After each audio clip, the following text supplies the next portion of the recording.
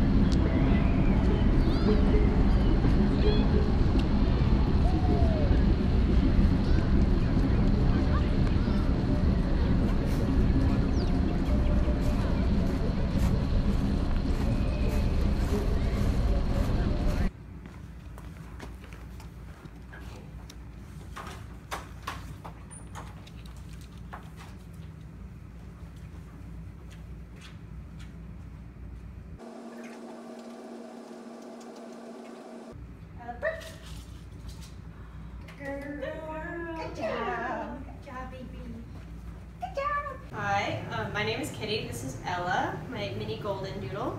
Uh, she did the two-week board and train, um, and I missed her very much, but uh, she came back a new dog. So the issues we had with her before was pulling on the leash, uh, begging at the table, uh, not holding her like sits or downs or places, or just rolling over afterwards. Uh, she has some separation anxiety. She would bark at the door. She would run out the door if we were trying to leave. Um, I've seen a lot of correction in those things. She won't run out of the door anymore. Um, she still loves to hang out on me, and we're going to work on that over the next couple weeks with some, a few strategies. Uh, but she now walks next to me instead of pulling me up the stairs or pulling me around. Um, I really like that, that she's now heeled like a normal dog. Um, she's not as uh, bothered by distractions anymore when we're walking. Another dog comes up to her, she'll stay with me, she'll keep walking. Uh, she also used to be afraid of children and would snap at them if they came too close or she'd bark at them. And we just went through the park and she ignored all of the children, uh, stayed right near me, wasn't barking, wasn't snapping, wasn't being mean, um, which is a good thing because she's a fluff ball and children are drawn to her. Um, so um, our trainer was Michelle, and she kept us up to date every day, sending us videos and photos, um, reporting on her progress, and responding to our questions because inevitably after we said, oh, these are all the issues, and like, oh wait, this one too. Oh wait, oh wait, this too. Like, what should we do about this or this or this? So she gave us all the feedback we wanted um, about whether or not she should jump on people or not because she's little and people don't seem to mind, but we shouldn't have her jump on people. Um, and how to make her stop barking when we leave and how to get her to not beg at the table. So Ella's doing great so far and it's just up to me right now to keep up her training.